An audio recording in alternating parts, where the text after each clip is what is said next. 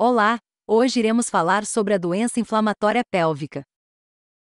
A doença inflamatória pélvica é uma doença comum. Ela está presente em cerca de 9% das mulheres que consultam por dor pélvica. A etiologia da DIP está relacionada com uma infecção polimicrobiana que envolve o trato genital superior feminino. A presença de bacteriose vaginal, e de outras doenças sexualmente transmissíveis, reduz a expressão de antimicrobianos naturais que estão presentes no muco cervical, como a elafina e S-LPI. Na América Latina, o Streptococcus e o Staphylococcus são os agentes etiológicos mais prevalentes, sendo que a presença da clamídia e do gonococo é quase ausente, podendo chegar até 3%. Todavia, nos Estados Unidos, a clamídia e o gonococo são os principais agentes etiológicos da DIP. Para realizar o diagnóstico de DIP, é necessário verificar aspectos da vida sexual da paciente e se houve uma história recente de manipulação do útero. Por exemplo, uma colocação de um dispositivo intrauterino, uma esteroscopia ou uma esterossalpingografia. Contudo, há casos de mulheres com DIP, confirmado por laparoscopia, que não tiveram relação sexual. Uma infecção descendente, por via linfática ou hematogênica, poderia explicar o quadro infeccioso. Portanto, a ausência de relação sexual não exclui a chance de ter DIP. De acordo com o CDC, o diagnóstico de DIP é clínico. Deve ser considerado quando a paciente tem dor pélvica ou em hipogastro há menos de 30 dias, acompanhado de dor à mobilização do colo uterino ou dor uterina ou dor anexial. Mais importante de tudo, sem outra causa identificada. Portanto, os exames complementares servem para identificar outros diagnósticos diferenciais. Por exemplo, apendicite, gravidez ectópica, ruptura de cisto anexial, torção de anexo, endometriose. Além de infecção urinária, gastroenterite, pneumonia, litíase renal ou biliar, adenite mesentérica devem ser consideradas na história e na investigação. A ausência dos critérios adicionais afastam a chance de DIP, mas eles não são necessários para o diagnóstico.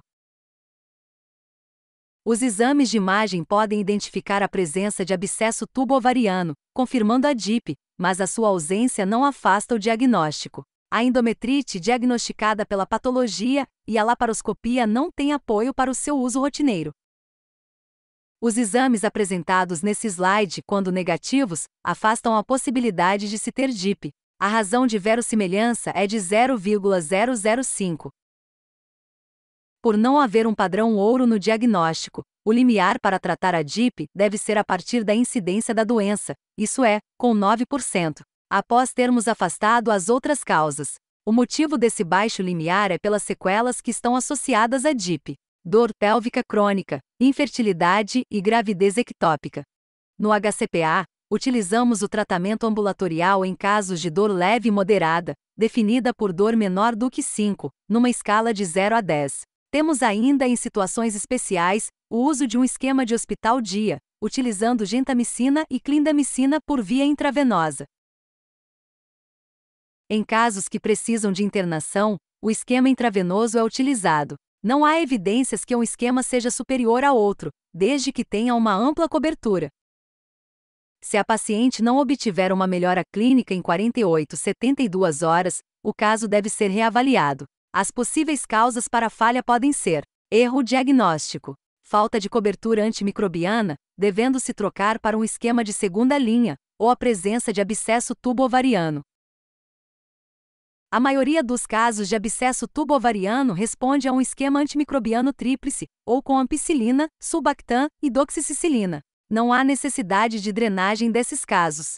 Contudo, quanto maior for o abscesso, menor será a chance de responder clinicamente. Cerca de um terço das mulheres que tiveram DIP terá novo episódio em dois anos. Essa infecção altera o epitélio das tubas, gerando assim a hidrossalpinge. A hidrossalpinge, por sua vez, está associada à redução da elafina endometrial, uma molécula antimicrobiana natural. Com isso, as alterações estruturais e funcionais que ocorrem na tuboterina aumentam o risco de gravidez ectópica e infertilidade.